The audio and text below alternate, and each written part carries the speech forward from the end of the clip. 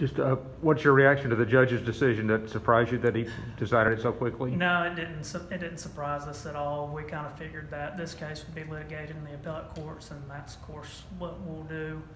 Um, The three people that signed this complaint need to be com- commended for their, their courage to basically hold accountable the government.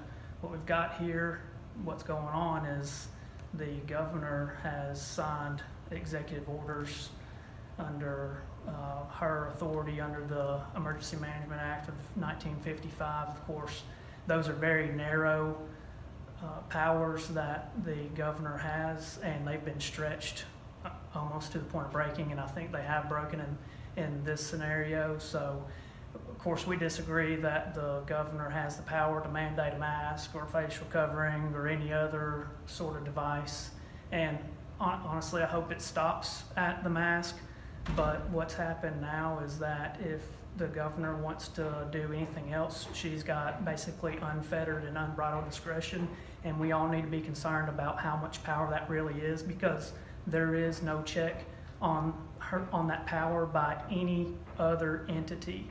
So I highly doubt that it's gonna withstand scrutiny on appeal and, um, we'll get it there as soon as we can.